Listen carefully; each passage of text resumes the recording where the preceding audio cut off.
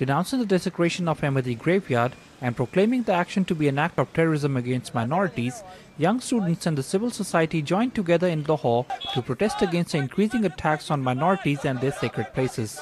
Protesters chanted anti-extremism slogans and demanded for a Pakistan dreamt and formed by the founder Quaid-e-Azam Muhammad Ali Jinnah. Protesters said no human could opt for an act of terrorism to impose their beliefs on others.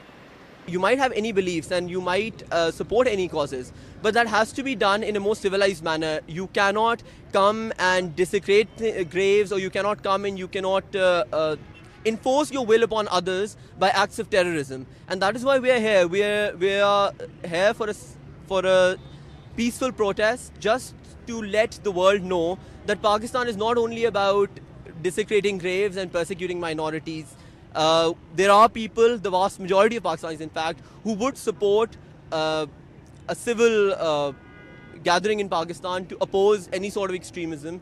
The protesters marched through the main Liberty Square of Lahore, voicing their concerns and recording their protests against extremism against minorities. Civil society members said the Ahmadi sect played a vital role in the formation of Pakistan and should be respected more than being persecuted.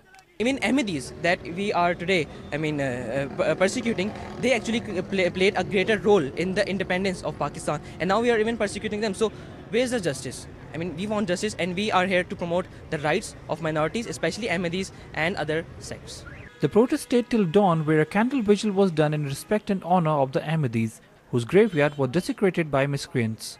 The civil society demands the government to ensure that minorities are provided with the same level of respect and religious freedom as is given to any other citizen of Pakistan.